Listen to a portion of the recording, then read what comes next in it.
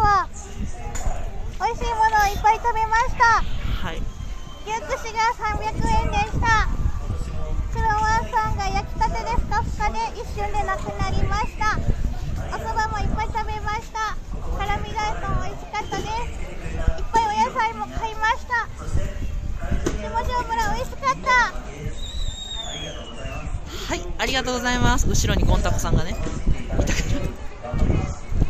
らありがとうございます。